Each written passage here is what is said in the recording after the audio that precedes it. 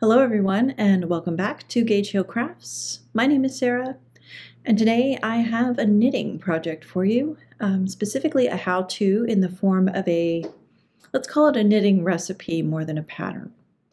So this is something I've been um, doing for a few years. I like to make warm, comfortable sleeping socks that you can wear around the house. Um, and actually you can wear these in a, a large oversized boot um, as well. So here in Vermont, it obviously still gets quite cold in the wintertime. And we're a uh, shoe-free household, so take off your shoes when you come in. And of course, your feet can get cold, um, especially because we do not have radiant uh, heat flooring. So the, the floors can be kind of chilly. Um, and also at night, I like to keep my feet nice and toasty. So these are really great for that. And I'm just going to walk you through roughly um, how you go about knitting these. And then I'm going to link to a blog post below where you can get um, three different sizes that I've figured out. Um, I've only calculated these specific sizes because they're the ones that I need. So it's my size, which is a women's size 9 foot, a slightly smaller size 7 women's foot, and then a roughly size 10, 11 uh, men's foot.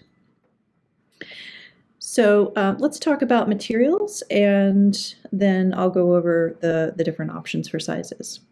So the yarn that I'm using for these is a heavy worsted or Aran weight yarn. Um, it's a two ply and it's by a company called Country Classic. It's called Yarn for Socks, spelled S-O-X, and it's 80% wool, 20% nylon, it comes in a 4 ounce or 113 gram hank. So that's what it looks like. Um, I will link to at least one Etsy shop below where you can buy this. That's the tag. It can be a little bit difficult to find, but I think any kind of hard-wearing, tough Aran weight yarn would do. I like this yarn because it has a high twist and it has the nylon content, so it wears very well. Um, I have a couple of pair, actually I'm wearing a pair right now while I'm shooting this video, that I've had for several years. And given that I wear them every day around the house and then sleep in them as well, um, they, they do hold up pretty well over time. So given that this is an Aran weight yarn knit on a size 5 needle, um, it's a pretty stiff gauge. And you'll notice um, here in this photo, uh, comparatively, how much larger the gauge is compared to your standard fingering weight sock. Um, if I hold these uh, up next to each other, it's probably three or four to one uh, difference in ratio. But that also means that these socks can be knit very quickly. I can crank out a pair in about six knitting sessions. So one pair would take me about a week to knit, which is really nice, especially if you're trying to knit something um, for a gift. It's not going to take you, you know, as long as it would to knit something in a smaller gauge. Now this yarn says on the back of the tag that it's uh, made in Canada exclusively for Accessories Unlimited out of Glastonbury, Connecticut. I don't know if that company is still in business, but you can find this yarn around. You might have to do a little bit of hunting. Um, but if you can find something similar, that would be fine too. Um, I like the heathered kind of colors. I don't know if you can see the, the tonal colors there, if my camera will pick that up. But this one has sort of, it's like a blue color, but then it has purple and greens in it as well. Um, and I also really like the price. You can get this for about eight or nine dollars per hank, so it's not an expensive yarn, and you get enough to make um, a pair of women's socks and then some. So um, for a pair of men's socks, you'll need a whole hank and then a little bit more depending on the size of the foot. Um, and what I do to kind of work around that, so for the women's sizes, I just use up, and then I usually have a little bit left over, about about so much, maybe half an ounce or something. And then I can use that for the toes and the heels on a men's pair. So you'll see this pair has uh, red because that was a, a, color that I knit for my mom and gave to her. And I had a little bit of that red left over from her pair to finish this pair for Rick. So um, that's about what you'll need in terms of amount of materials. And then you can just knit these on any small diameter technique that you like. So if you prefer um, double points, which is what I like to knit socks on. You can use those. You can use a small circumference circular. You can use a long circular cable needle and do a magic loop method, whatever works for you. Um, like I said, this is more of a recipe than a how-to step-by-step kind of a pattern. Um, and then the construction for these is top down. So I like to start at the top with a very loose cast on so that I can make sure I can get my foot in here and get this all the way around my heel. I knit for um, around 11 to 14 rows of 2 by 2 ribbing at the top. Then I knit the leg. I do a garter stitch short row heel for the heel. And this is a very easy um, garter stitch short row heel. I'll also link to an online tutorial um, where she walks you through how to do this heel step by step. And I like it because it's easy and it also makes a cushier heel, um, as well as a narrower kind of back of the sock.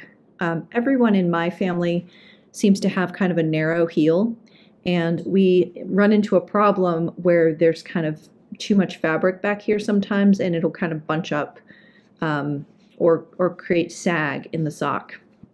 So I like this garter stitch short row heel because it takes up a bit of that excess fabric. Um, you could also sub in another kind of heel. Just be aware that that might use more or less yarn than this garter stitch short row. But if you prefer a different kind of heel, by all means, you can sub that, that in. Um, then you just knit down, and then you knit a very basic, um, you know, decreasing every other round kind of toe.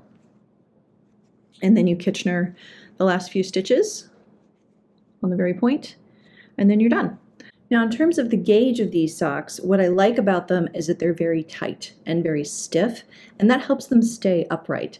Um, a few years ago, in one of their pattern collections, um, what was then called Mason Dixon Knitting, it's now called Modern Daily Knitting. Um, they released a pair of sleeping socks, and even the, the cover photo for the pattern showed a leg um, with the sock sliding and puddling. And while that gives a certain cozy aesthetic, I hate socks that fit like that because I kick them off in my sleep.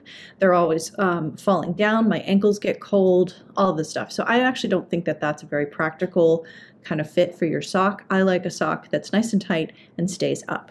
And that's exactly what these do. So um, if you knit them at this nice, nice tight gauge, um, it also helps them wear longer. So um, it cuts down on the amount of friction of the socks, like scooching around in your house shoe or um, the friction as you're walking across the floor. And so that really helps too. Um, the other thing is that these are very nice and warm and thick. So if you're like Rick and you do, you know, chores and you have kind of oversized boots, um, or those slip-on kind of muck boots, um, this sock can be nice in the wintertime because it really fills up that gap um, inside the, the larger boot and gives you some uh, extra cushioning and some extra warmth there during the wintertime. So that's it for my sleeping socks guide and recipe. Um, again, I'll give you three different sizes with the measurements for the cast on, the number of rows of ribbing, the length of the leg, um, the number of unworked stitches that you use for the garter stitch heel and the length of the foot and then the number of unworked stitches as you do the toe decrease before you Kitchener. Um, those will be your, your guide markers or your waypoints as it were and then you can adjust things like the length of the foot if it's not quite right or you know the number of cast on stitches if you're in between the sizes that I'm going to be giving you. I'd love to know if you make these. Um, please let me know. You can tag Gage Hill Crafts on social media or send me an email. Um, and we'd love to hear from you. Send, send pictures and post them. Um, I'm not going to post this pattern on Ravelry. Um, I just don't have the I don't know, inclination to post more free patterns there. And uh, so this is really my gift back to you, uh, the YouTube viewers and the blog readers, um, to get this for free. And again, I just want to say thank you for tuning in again as we kind of restart our channel, and we'll bring you more next month. Thanks and take care. Bye.